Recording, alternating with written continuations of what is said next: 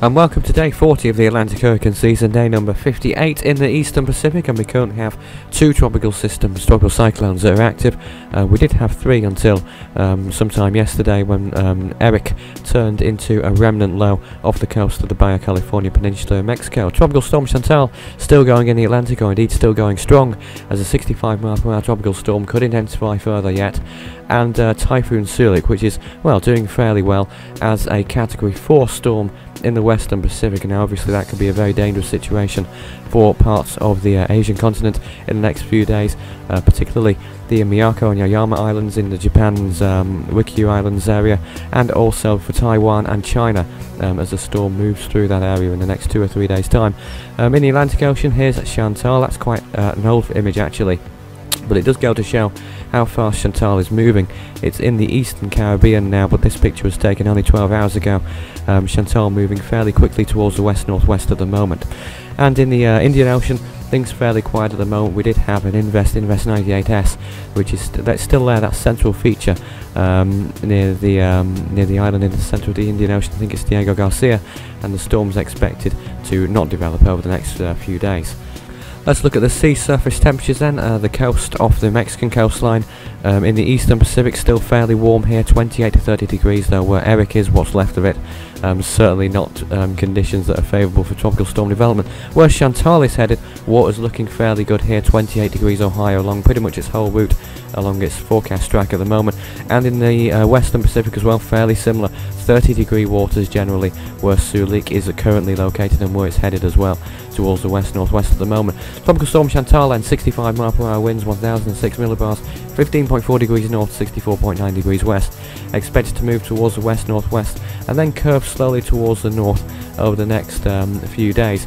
Now um, it's moved slightly towards the west of previous uh, track forecasts, so that means that Haiti's more in the spotlight as well, uh, as well as western, uh, eastern Cuba rather, um, the Bahamas, and indeed the uh, eastern coast of Florida as well, uh, which could get a tropical storm landfall perhaps um, the way things are going.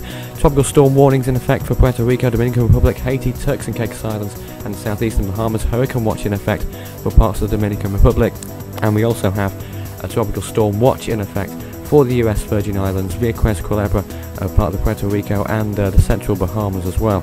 And those watches and warnings may be extended at any time, so make sure you check the website for updates on that more towards the end of the uh, video, how you can get in touch on the website. Uh, Typhoon Soulik as well, currently with winds of 130 miles per hour. Uh, could be even higher now, by the way, because this was at 9 o'clock UTC. It's currently um, 12 o'clock UTC as of the narrating time, and is expected to continue as a Category 4 storm probably peaking as a high-end Cat 4 storm as well, um, before starting to weaken after it passes the uh, Yaeyama and Miyako Islands and possibly get very close to the northern tip of um, Taiwan as well as a Category 3 storm before eventually making its final landfall in China as a weaker typhoon. Uh, but still, uh, certainly a cause for concern with that one. Looking at the uh, imagery for Chantal, you can see here um, it's been moving towards the west-northwest. Certainly not um, the nicest looking storm you could say, I suppose um, to moving towards the west northwest there in that imagery. Um, and here's the Western Pacific wide view showing um, Typhoon Soulik developing over the past 24 hours, and you can see its intensification has been fairly quick. The eye getting more and more developed, initially starting out ragged, and now um, appearing more circular and more rounded um, in the last few frames of that one there, certainly showing a strong storm indeed. And here we also have the close-up view of Typhoon Soulik. Here the infrared imagery first of all as it moves towards the west-northwest, certainly um, strengthening in those last few frames, um, with the eye certainly getting more wider as well. Um, so that means an eyewall replacement cycle may not be too far away, and that might provide a bit of relief um, if it does happen at a key point um, when it approaches land. Looking at the um, current Model runs then, you can see the CMC first of all, taking Chantal on a quite interesting route through the Bahamas, making landfall in um, on the Georgia-South Carolina border as it, at its peak intensity, and then moving towards the southwest towards the end there. The ECMWF model, you can't really see much going on in this one um, at the moment, you can see um, not too much. Chantal possibly moving towards the north after passing the Bahamas um, that's what I could gather from that one at least anyway. The GFS model, a little bit more clear, has quite a weak storm moving through Cuba and then passing Florida, moving towards the uh, uh, north-northeast and then probably making landfall in South Carolina and then moving inland, which is interesting as well. The NavGem model actually has the storm moving on the west coast of Florida through the Florida Keys and then into the um, Gulf of Mexico. So that'll be a very interesting scenario if that one occurs. The GFDM model takes um, Chantal through uh, Hispaniola as a tropical storm and then moving through the Bahamas and then out to sea a little bit and then into the border with South and North Carolina as eventually as a tropical storm. Another interesting scenario there. The HWRF model as well takes the storm um, through the Bahamas and then into the Florida-Georgia border um, as a tropical storm there you can see there. The uh, computer models then, this is the uh, more static view for those who are fans of static imagery. Um, you can see quite a split here once the storm passes Cuba, um, sorry, um, Dominican Republic and Haiti. Um, moving through Cuba, most of them now, um, though some say the Bahamas, some go towards the Gulf of Mexico, so that's an interesting scenario at the moment. Most of them going through the Bahamas, it has to be said. The CMC model then, for the Western Pacific has a strong Soulik moving into Taiwan and then into China and then another storm forming near the Philippines as well at the end of that run. The GFS takes it further north just off the northern tip of Taiwan. It does look more likely that Taiwan will at least get some typhoon conditions um, from this storm Soulik and China of course will probably get typhoon conditions um, regardless of whatever happens in Taiwan um, so it certainly seems like um, a developing situation there. Looking at the overall predicted scores then for July the 10th, Ken with 79 points, Typhoon Bopa with 71, and William with 71 points as well. That's the top three at the moment. A few movements here and there, and a few more movements probably likely uh, should Chantal become a hurricane, or indeed if any other storms form. You can submit your own storm totals at the website force13.com forward slash interactive. Just click the 2013 sub, uh, predictor season button, and then you should find it fairly easily enough, um, fairly easy to do, submitting the totals and uh, it should be put up on the leaderboard in due course, but do be quick about it because the scores do go down as time goes on. So what happened on this day then for July the 10th, 1960? Hurricane Abby formed near the Lesser Antilles and made landfall in St. Lucia as a Category 1 storm, 6 fatalities and $435,000 of damages. In 1975, Tropical Storm Eleanor formed in the eastern Pacific. In 1978, Tropical Storm Amelia dissipated in the eastern Pacific as well.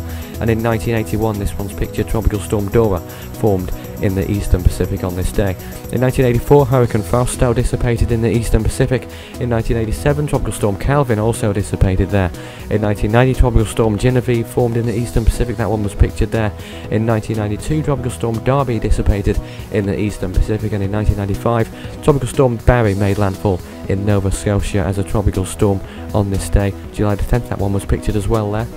In 2003, Tropical Storm Enrique formed in the eastern Pacific. Hurricane Dennis made landfall in Florida as a Category 3 storm. In 2006, uh, that was in 2005, 2006 Tropical Storm Ewiniar made landfall in South Korea causing 36 fatalities.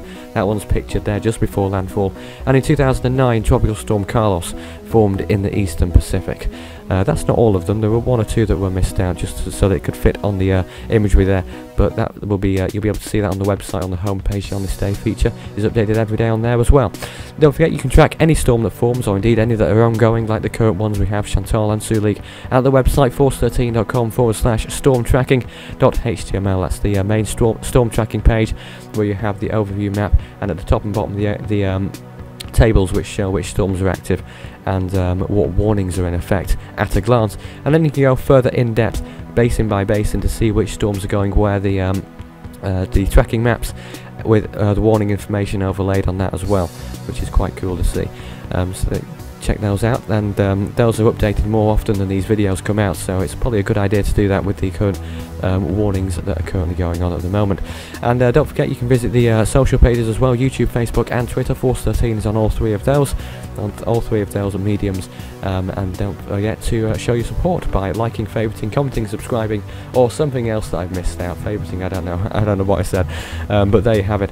Um, and I do appreciate every um, every positive remark that is made on all the videos. Um, sometimes I don't comment on all of them just to, uh, I don't want to appear as if I'm commenting on everything like some sort of person who clings on to every comment, but there you have it. Uh, but if you do have a um, question, I'll get back to that on the uh, YouTube videos. Just send in your comment and I'll get back to it by comment or by private message. The next bulletin will be coming up, um, bulletin number 40. That will be July the 11th um, at midnight UTC Thursday morning and uh, with updates in between for both Chantal and Soulik during the day on Wednesday, July the 10th. But that's it for now.